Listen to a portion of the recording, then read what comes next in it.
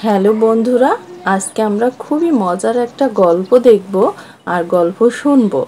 তবে বন্ধুরা, আমাদের গল্পটা শুনে অবশ্যই কিন্তু কমেন্টে জানিয়ে দিবে আমাদের গল্পটা কেমন হলো। ঠিক আছে বন্ধুরা, চলো গল্প দেখে আসি। সখীপুর নামে সুন্দর একটা গ্রাম ছিল। সেই গ্রামে বিলের বিশাল বড় একটা মাঠ। মাঠের এক পাশে সবুজ ঘাসে গাছে ফুলে ফলে ঘেরা তো সেখানে একটা পিঁপড়া আর একটা ফড়িং বাস করত। তারা দুজনে খুবই ভালো বন্ধু ছিল। সারাদিন গান, বাজনা, ঘোরাফেরা, গল্প করা এটাই তাদের কাজ ছিল। আসল কাহিনী কি?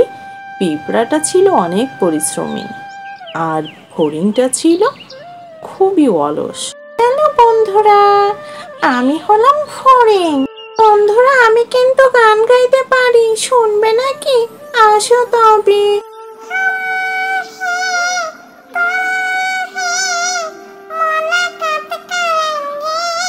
পেঁপড়ে বন্ধু, একটু গান শুনে যাও।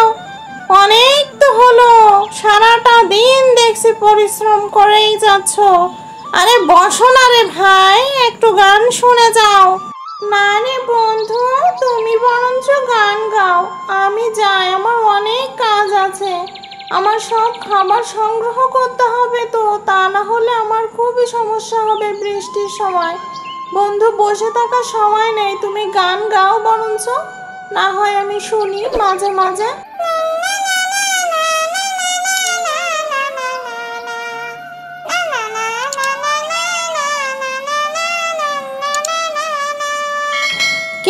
কে প্রজাপতি বন্ধু গান শুনবে? আচ্ছা তবে শোনো।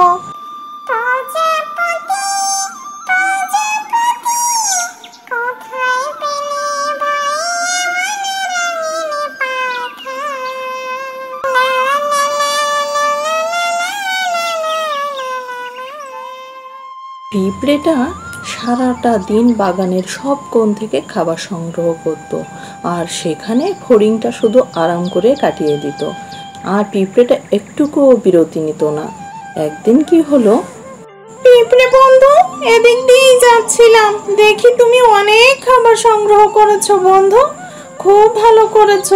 সামনে শীতকাল, এখন আমি আমার ভুলটা বুঝতে পারছি। সারাদিন নেচে গেয়ে দিন কাটানো। এখন কি করব আমি? এই জন্য বলে সময় ভালো থাকতে থাকতে কাজকর্ম গুছিয়ে নেওয়াই ভালো। আমি খুব ভুল করেছি। কি আর করা? দেখা যাক কি হয়। খুব শীঘ্রই শীতকাল এলো। দিন রাত ঠান্ডা হয়ে গেল। খুব কম প্রাণী আছে বাইরে বের হতে পারে। দিন রাত সব ঠান্ডা হয়ে যাচ্ছে।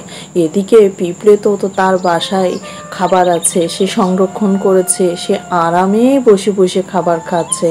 আর অন্যদিকে ফড়িংয়ের তো ঘোর বিপদ। ফড়িং যে কোনো খাবার পাচ্ছে না।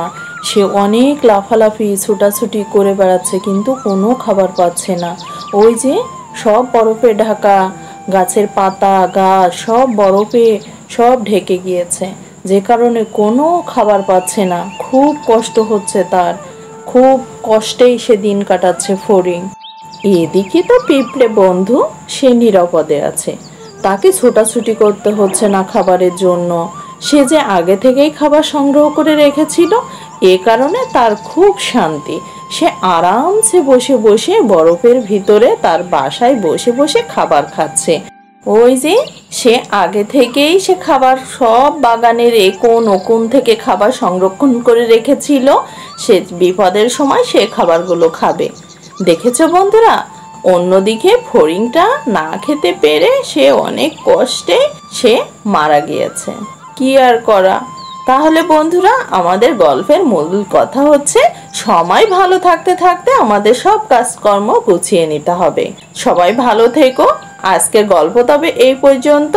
আর নতুন হলে অবশ্যই চ্যানেলটা সাবস্ক্রাইব করে রাখবে, এরকম নতুন নতুন গল্প পেতে।